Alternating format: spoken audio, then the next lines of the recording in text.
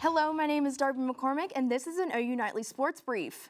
The top-ranked Oklahoma women's gymnastics team took their home mat advantage seriously on Thursday, beating Arkansas and advancing into the Saturday's NCAA Regional Final.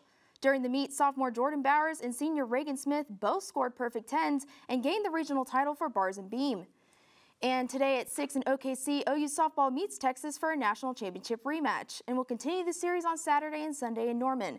And despite Coach Mike White's allegations of cheating, this weekend is a chance for OU to take their 10 straight series win to 11 against the Longhorns.